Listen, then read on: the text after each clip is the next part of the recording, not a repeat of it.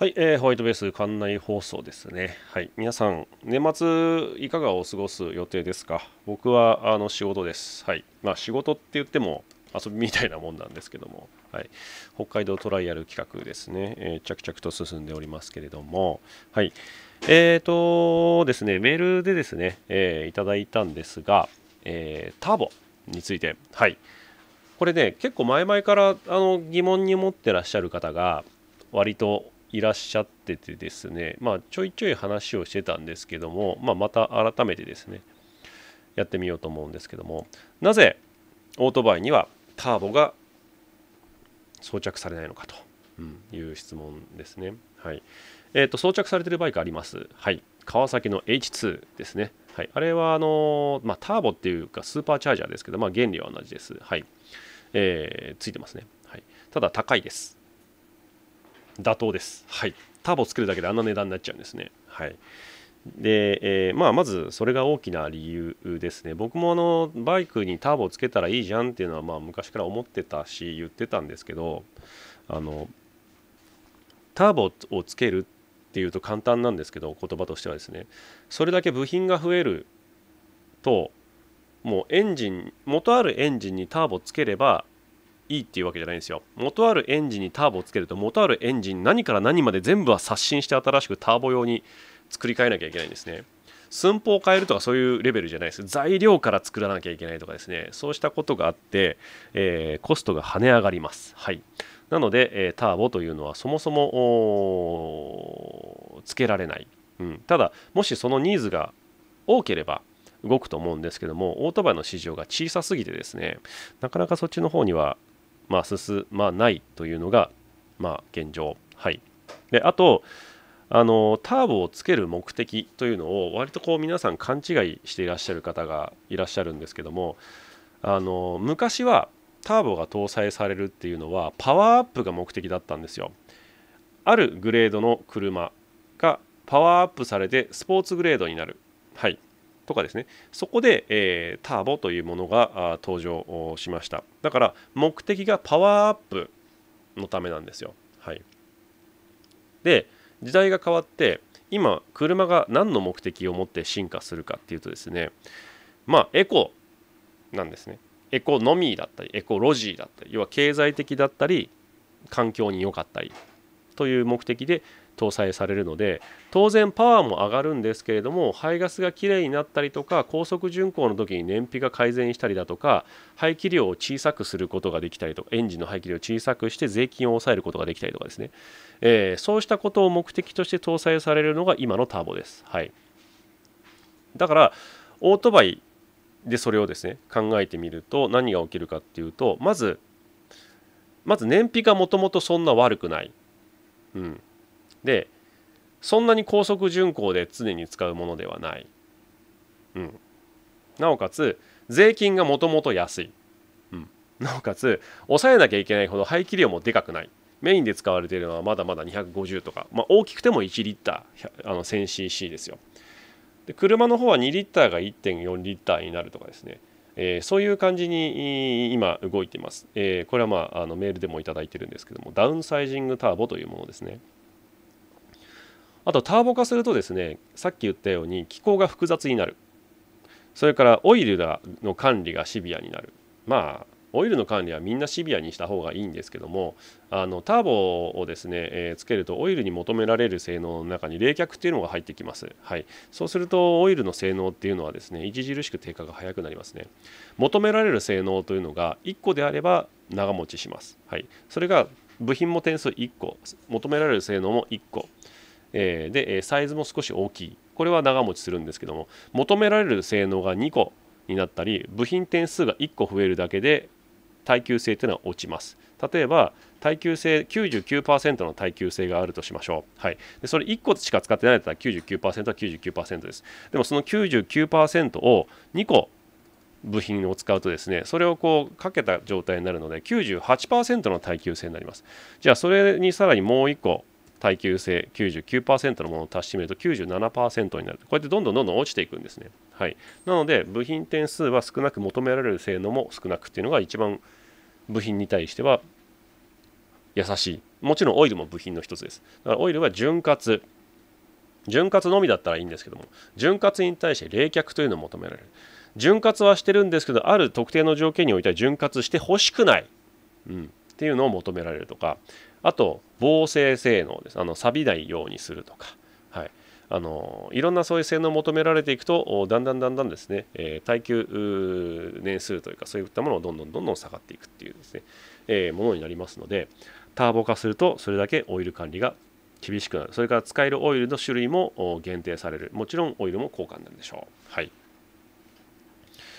というものなんですよ、えーまあ、あとはさっき言ったようにやっぱ部品点数が多くなるので、えーまあ、エンジン寿命ですねっていうのがあまあ比較的短くなるのではないのかなというふうに思います。はい、だってあの川崎の H2 なんかですねあの使われてる技術っていうのはターボなんですけどターボだけど車のターボの技術を使って作ってるんじゃないんですよあれ。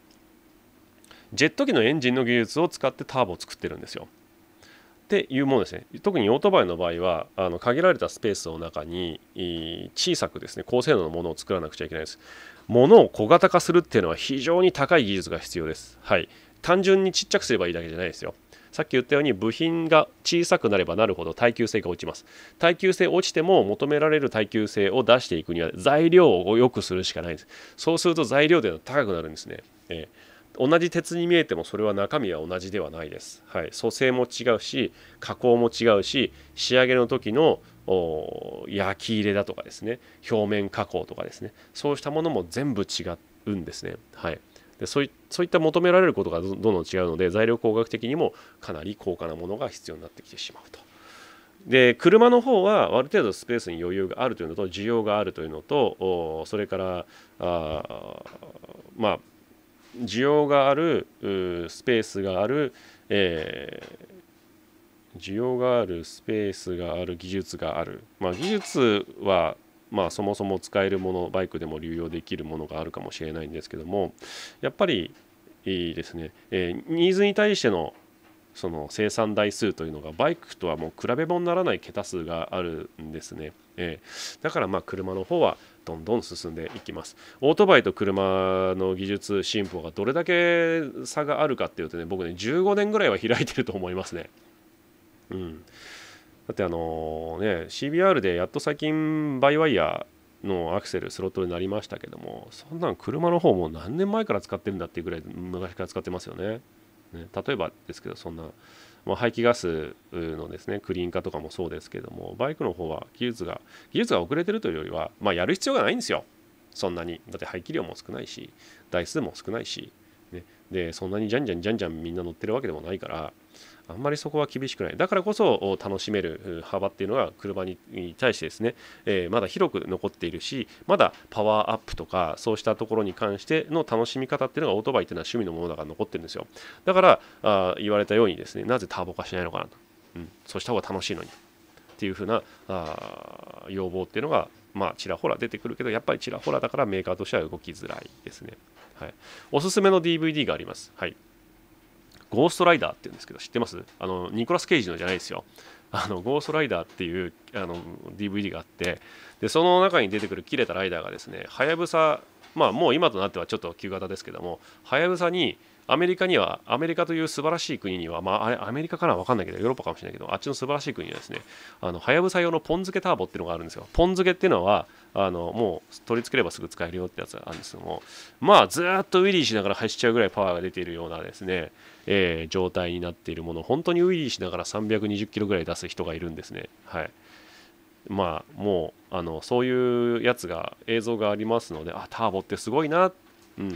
ていうのだけはまあわかるかなと思います。はい。ちなみにあのもう一つあれなんですけど、あのターボターボっていうとですね、あそもそもターボの話、ターボで何かというとですね、より多くの燃料とガソリン、燃料と空気をエンジンの中に入れた方がよりパワーが上がるだろうというのがあターボの発想なんですね。で、もともとターボっていうのはあ高高度爆撃機、はい、えー、要は上空は空気が薄いですので、えー、ある一定以上上昇できないんですよ。あのエンジンが調子悪くなっちゃって。でその時にちゃんと上昇できるように地表の大気圧を再現するために圧力を空気に加えてエンジンに入れてやる。そうすると空気が薄くなっても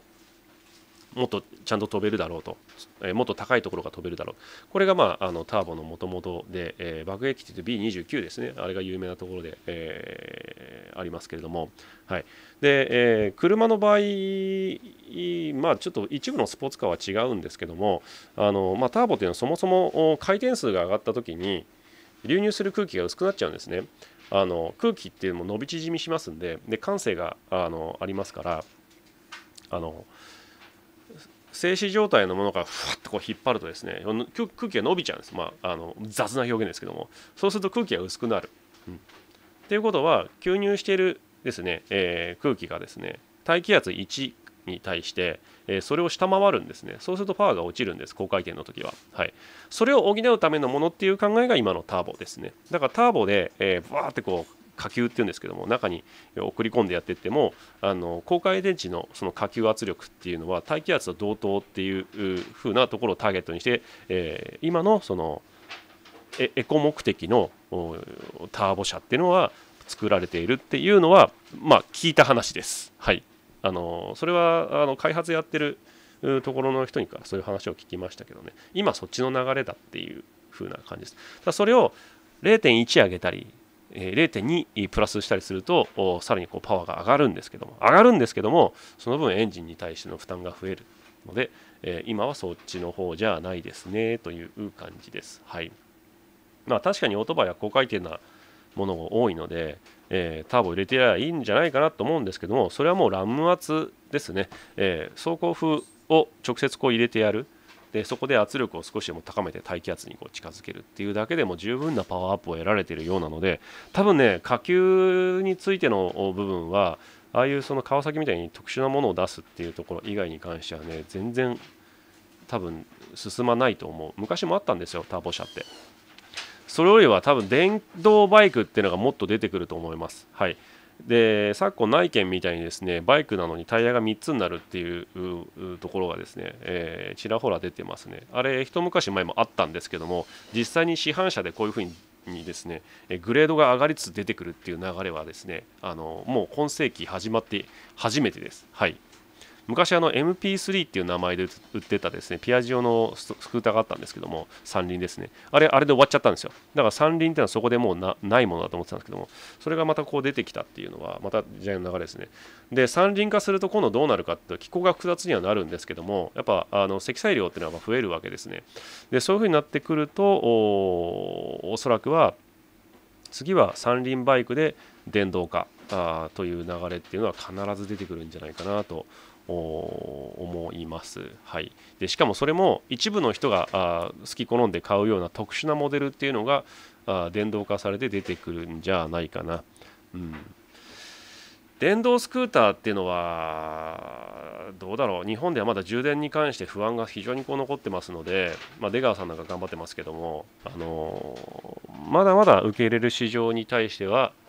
準備ができてないんじゃないかなという気がします。ただあのなんでこう電動モデルっていうのが出てるかっていうとですね日本ってバッテリー大国なんですね。非常にバッテリーに対して高い技術がある。電動にはいつでもできるんですよ。もう技術的には。モーターとかもそうですけども。電動にする技術はもうすでにもうもうもうだいぶ前からある。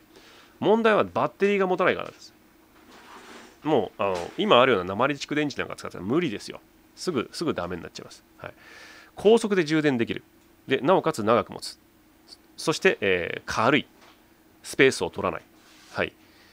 もうね、求めすぎだろっていうぐらい。ただ、積載する場所が少ないので、どうしてもそうなるんですねだ。そういうバッテリーのですね、えー、開発って日本はすごいわけなんですよ。これ日本はね世界一ですね。だそういったものがよりですね、えー、小スペースで、えー、高効率なものっていうのがあ現れたらもうその瞬間に電動バイク電動電気自動車はもう出てますけども電動バイクっていうのがですね、えー、もっと一般化するんじゃないかなと思います。はい、ちなみに余談ですけどもエンジンと電動モーターどっちの方が原動力要はあの原動機ですね、えー、オートバイや自動車を走れるのに向いてるでしょう。はい。こんな質問の仕方をするわけだからまあよく分かってると思いますけども実はあのモーターの方が向いてるんです。というのはなぜかっていうとモーターっていうのは回転数0時点からトルクが最大です。はい。でエンジンっていうのは回転数0だとトルク0です、はい、アイドリングさせなきゃいけないし回転数同時にこう上げて稼いでいかないと、まピークトルクって出ません、はい、ピークトルク出て出てもあのまたそれもあのずれるのできちんとそれにこう合わせた変速をしていかなきゃいけないですね。変速機をつけて。だからあれですよミッションがついてるんですよエンジンっていうのはモーターっていうのはもう0から最大回転数までトルクがマックスですのであの変速をする、まあ、雑な言い方ですが変速をする必要は基本的にないです。はい、あれはもうあの例えばステップモーターとかですね回転数をこう変えてやるっていう必要はあるかもしれないんですけど、まあ、電車なんかそうですよね。はい、だから電車って変速機ついてないでしょ。ね。だから変速機がいらないんですよ。だからあの構造が非常にこうシンプル化できるっていうのはあるんですけども、まあ、電車はパンタグラフからね電気取ってるようにバッテリーでは動いてないです、まあ、一部の機関はバッテリーで動くところもあるんですけどもあの昔今どうかな常磐線とか分かんないですけどもね、はい、車の方バイクの方だとまだまだあそういうですね、えー、バッテリーのですね、えー、要求っていうのがありますのでそこまで一般化してないけれどもまあ時間の問題かなと思います。はい、出てきたら乗ってみたいですね。はい確かに乗ってみたい、まあ、全く違った乗り物になるでしょうけれどもきっと楽しいんじゃないかなと思いますはいはい、いろいろ余談をかまさせていただいたんですけれども、はい、いかがでございましたでしょうか？はい、皆さんのバイクライフの雑談のお役に立てれば光栄です。あの前回のあのメカニカルオクタンカの話もですね、いや、もう全然数字伸びねえな とかあの思ってたらですね、まあ、その前回のあのオイル屋さんの話と含めて、まあ、ちょっとじりじり伸びてますね、何回か見てくださってる方もいらっしゃったので、えー、今回もこのようにですね、ちょっと小賢しい動画を撮らせていただきました。はいえー、年末寒くなってきました、えー、雪も降ってるところも多いと思いますけれども、えー、皆さんお気をつけて、えバイク、車に乗ってください。僕も気をつけたいと思っております。はい。というわけで、えご視聴ありがとうございました。失礼します。